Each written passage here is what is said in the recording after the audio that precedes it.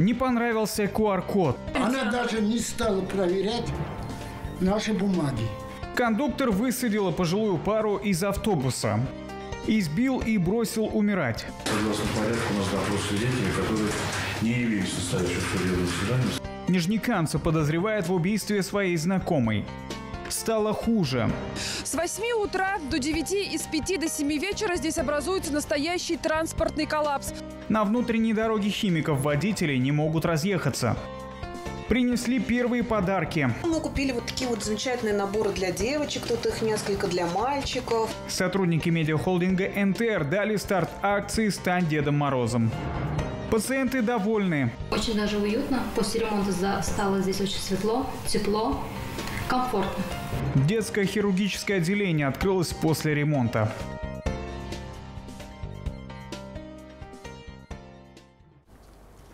В прямом эфире Нижнекамские новости в студии Алмаз Кашаев. Здравствуйте.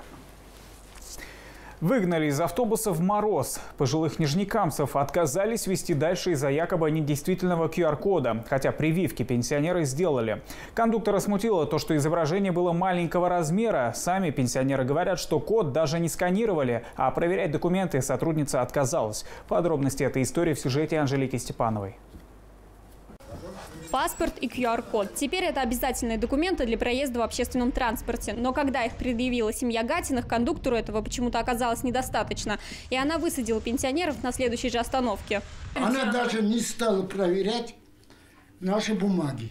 Она вот это только посмотрела, она говорит, это бумага Киркот, у вас недействительная, он говорит, должен вот такой, ну вот такой кусок еще. Большой. Ну, да.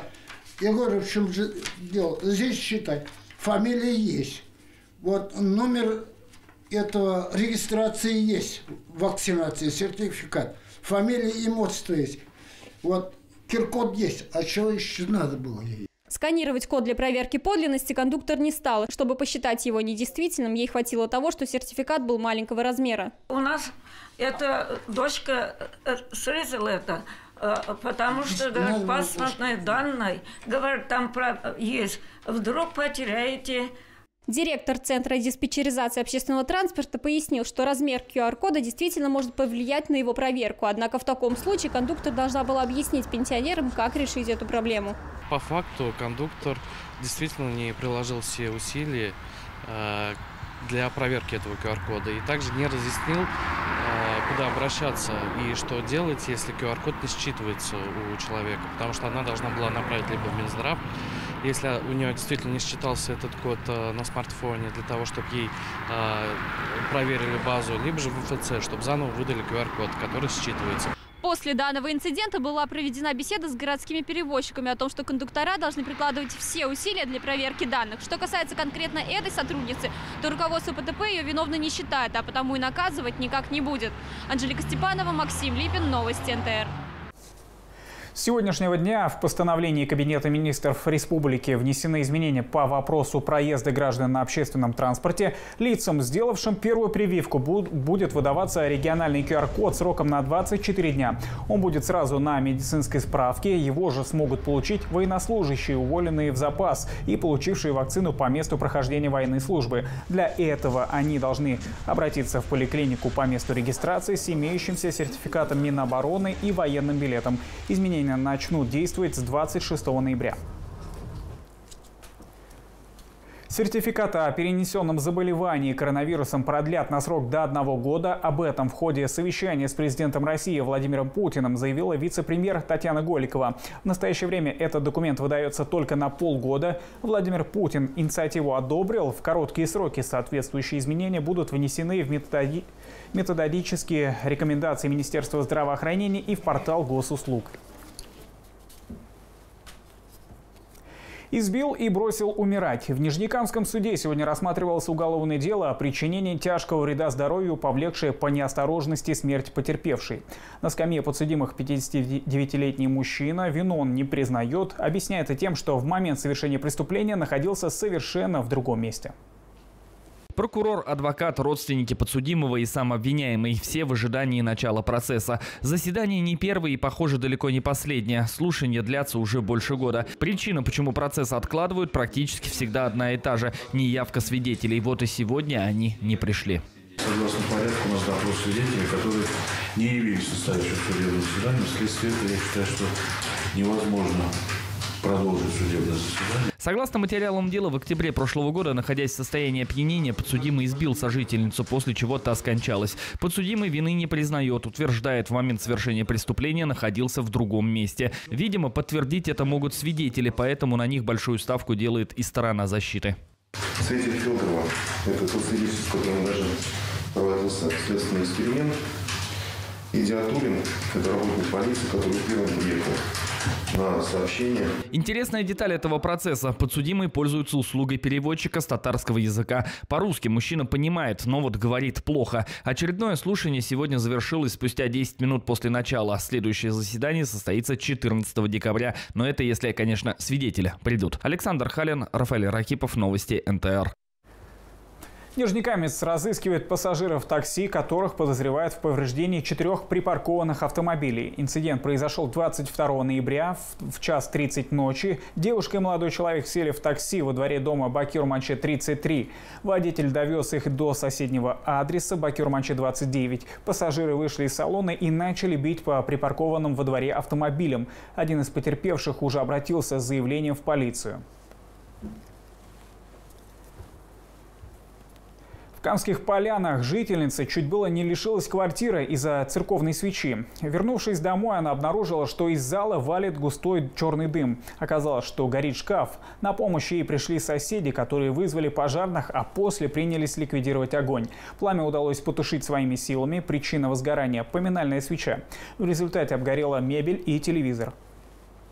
Она э, пояснила тем, то, что включ... а, зажгла свечку и вышла из квартиры, забыв об этом. Вернувшись, обнаружил задымление. Открыв дверь, увидел густой дым. А, вызвала пожарную охрану и с помощью соседей потушили возгорание. Когда приехали пожарные, уже все было потушено. Если у вас есть новость, важная или интересная информация, ждем ваших звонков на номер 400770. Напишите нам через сайт ntrdefis24.ru или по WhatsApp на номер 8 917 93 73 077.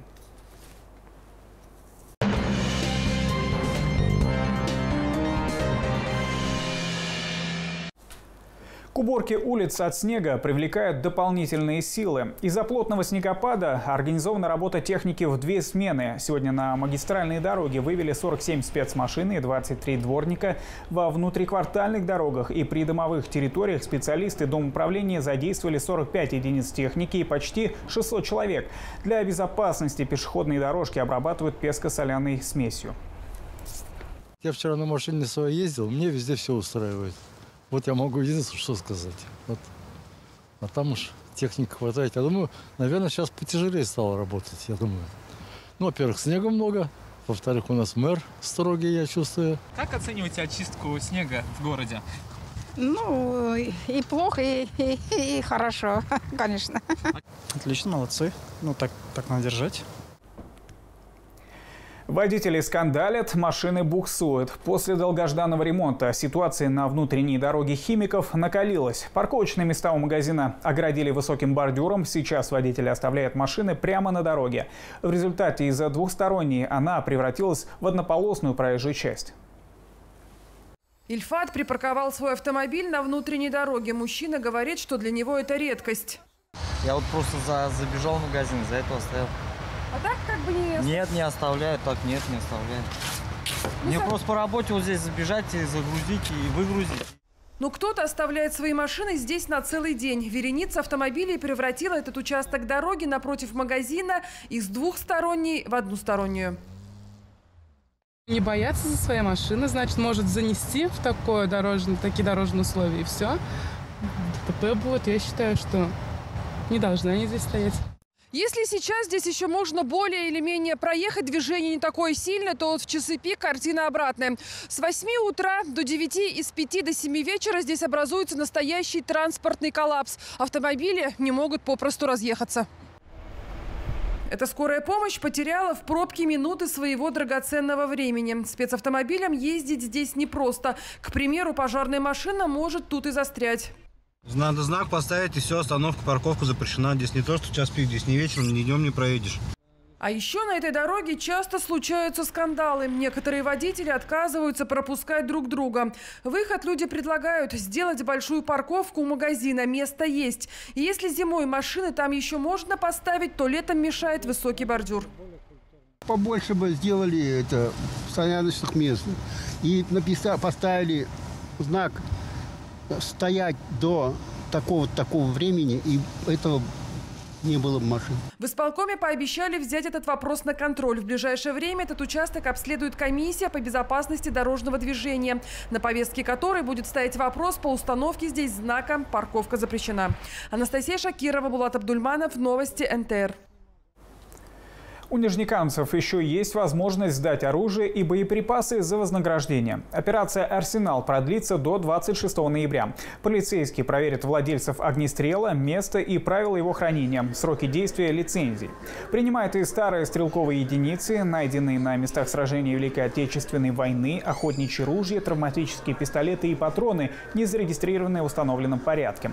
О фактах незаконного хранения оружия можно сообщить в управлении МВД по телефону дежурной части части. Полиция Нижнекамска напоминает, что за незаконное хранение огнестрельного оружия и боеприпасов граждане подлежат уголовному наказанию по статье 222 Уголовного кодекса Российской Федерации. Однако граждане, добровольно сдавшие оружие или боеприпасы, освобождаются от уголовной ответственности при отсутствии признаков состава преступления или правонарушения. Смотреть наши новости можно и не только по телевизору. Круглосуточная трансляция канала идет на сайте ntrdefis24.ru. Там же максимально оперативно обновляется новостная лента. Прямой эфир можно смотреть и в нашей группе ВКонтакте.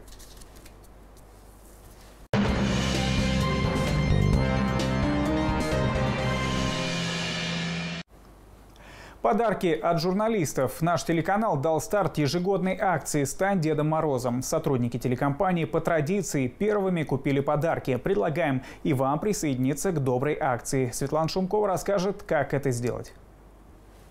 Сегодня мы решили начать рабочий день с похода в магазин. Журналисты службы новостей НТР отправляются за подарками для детей. Игрушки, сладости, глаза разбегаются от обилия ассортимента. В нашем случае подарки будем делать полезные. Средства по уходу для детей и подростков. Ну, мы купили вот такие вот замечательные наборы для девочек, тут их несколько для мальчиков, э, средства гигиены. Это, конечно, подарки для детей постарше, но я думаю, им тоже хочется немножко тепла, немножечко сказки, и очень надеюсь, что они будут рады. Еще одни постоянные участники акции – корреспонденты газеты «Нижнекамская правда» и «Туган Як». Они подготовили для девчонок и мальчишек незаменимые аксессуары, чтобы всегда быть красивыми, а также развивающие игры для детей помладше. В этом году мы решили сделать подарки для детей-подростков, чтобы уверены, что они им точно пригодятся, найдут применение ребята им и желаем им в новом году исполнения всех их больших желаний. Мы хотим подарить детям немножко радости, немножко веселья, вот, чтобы они чувствовали э, праздничный, праздничное настроение. Э, и хотим подарить игрушки. А вот творческие сотрудники отдела производства подарят детям сладости. Мы не можем остаться, естественно, в стране в первую очередь, поэтому мы поддерживаем, максимально призываем это сделать всех нижнекамцев. На самом деле рядом с нами находится очень много людей, которые нуждаются в поддержке, в помощи, в добром слове. Помочь можно и тем, кто не в силах рассказать о своих бедах. Наши радиоведущие и сотрудники веб-отдела приготовили подарки для бездомных животных из приютов. Мы подумали, а почему бы э, не устроить новогодний праздник для братьев наших меньших, да, правда и же? поэтому решили подарить э, подарки для бездомных животных. Да, и хотим, чтобы вы присоединились, и чтобы этот Новый год э, был не только у детей, но и у собак, кошек. Стать новогодним волшебником может каждый, и сделать это совсем несложно. Акция «Стань Дедом Морозом» только началась. В этом году она будет проходить в 13 раз. За эти годы неравнодушные нижнекамцы исполнили мечты сотен ребят, оказавшихся в трудной жизненной ситуации. Малыши каждый год ждут в гости Дедушку Мороза и новогоднего чуда.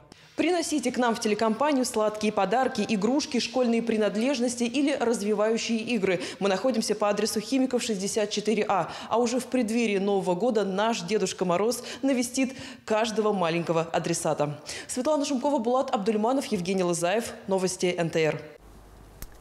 Тепло и уютно. Пациенты оценили условия пребывания в обновленных палатах хирургического отделения номер один в детской городской больнице.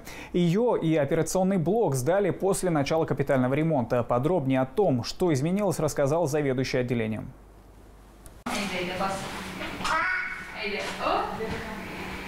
Айгуль Гелизидинова вместе с сыном больше недели лежат в хирургическом отделении. Раньше, говорит женщина, в помещениях было холодно, гуляли сквозняки. После ремонта все изменилось. Не страшно оставить ребенка в одной футболке. Уже завтра мама с сыном пойдут на выписку.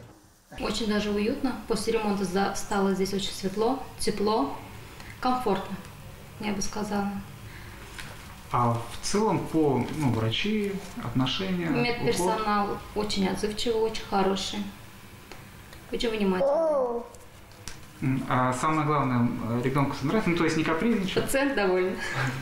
Заведующий хирургическим отделением номер один Алексей Спиридонов с удовольствием делится новшествами, которые появились после ремонта. Для удобства персонала и пациентов палаты и медицинские кабинеты расположили по разные стороны.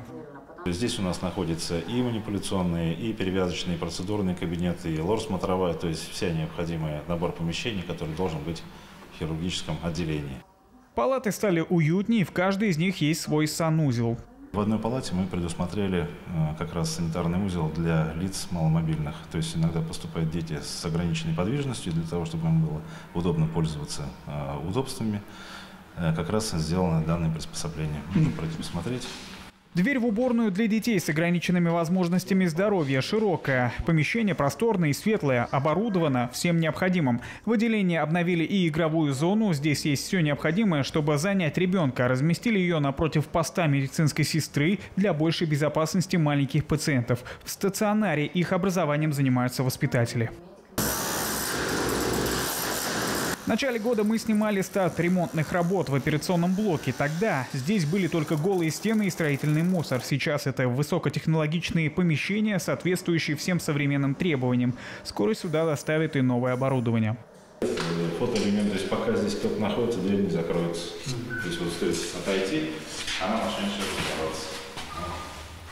Первый этап капитального ремонта в педиатрическом стационаре детской городской больницы с перинатальным центром продолжается. Пока обновили только половину пятого и шестого этажей. Работы ведутся на площади в 13 тысяч квадратных метров. На это выделено 200 миллионов рублей. Рамиль Молин встретился с представителями общественных организаций. Разговор проходил в Центральной библиотеке имени Габдулы Тукая, в ходе которого городоначальник поделился своим видением развития города. Рамиль Хамзович выбрал три приоритетных направления на ближайший год – идеологическое, стратегическое и тактическое. Под каждым пунктом свои отдельные задачи. На встрече присутствовало порядка 50 человек. Они задавали вопросы, делились своими трудностями и предлагали варианты для решения насущных проблем города. Я предложила нашу помощь в решении экологических задач нашего города. А, Мое направление – это создание благоприятных условий для населения в области обращения с бытовыми отходами. Ну, формат однозначно ознакомительный сейчас, да, то есть мы знакомимся, мэр с нами знакомится, встречи, конечно же, полезные. А я думаю, если чаще встречаться, то будет более продуктивно. Та самая «Черная пятница», о которой мы слышим уже несколько недель, настанет уже завтра. На самом деле, в 2021 году она выпадает на 26 ноября. Это первая пятница после Дня Благодарения в США. С нее начинается традиционный рождественский сезон скидок. Обычаи устраивать распродажи в этот день установились еще в 19 веке. Но что это для современной России? Мы решили спросить у нижнекамцев. В нашем телеграм-канале стартовал опрос. Ждут ли нижнекамцы Черную пятницу, чтобы купить товары со скидкой? Оказалось, что 72% опрошенных считают это просто маркетинговым ходом. 20% удается купить по низкой цене, а 8% вообще не знают, что это такое. Присоединяйтесь к нашему опросу и вы. Переходите по QR-коду, который сейчас виден на экране. В эти минуты хоккеисты «Нефтехимика» проводят очередной матч регулярного чемпионата КХЛ. Под сводами «Нефтехим-арены» наша команда встречается с рижским «Динамо». Как проходит матч, узнаем прямо сейчас. С нами на прямую связь выходит Александр Халин. Саша, привет. Какой счет?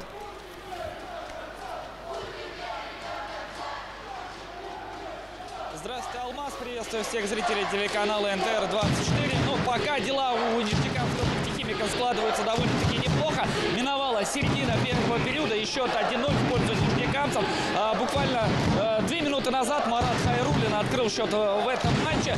А, ну, сама игра складывается напряженно. В принципе, это и не удивительно. Обе а, команды примерно одинаковые по уровню. И а, в последний раз коллективы встречались буквально месяц назад в Риге. И тогда нижнекамцы уступили а, со счетом 4-3. А, перед этим матчем обе команды потерпели поражение. Рижане уступили а, в Казани Акбарсу, а нижнекамцы здесь у себя дома разгромно проиграли питерскому СКА. Поэтому сегодня а, коллективы, конечно же, а, хотят реабилитироваться перед болельщиками, несомненно, удержать а, победу. Это тоже еще один такой дополнительный мотиватор для играющих сегодня а, команд.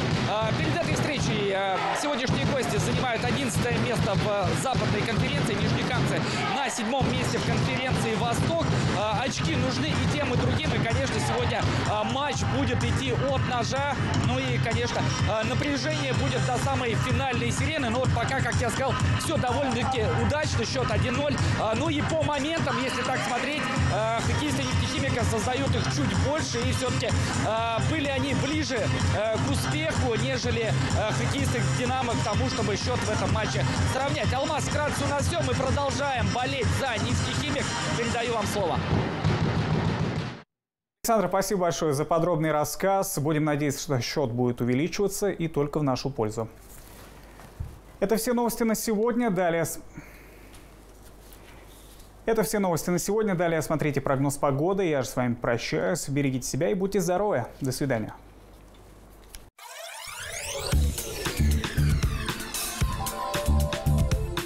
Пятницу 26 ноября в Нижнекамске ожидается пасмурная погода, снег с дождем. Столбик термометра днем остановится на отметке плюс 1 градус. Ветер юго-западный до 8 метров в секунду. Атмосферное давление 752 миллиметра ртутного столба.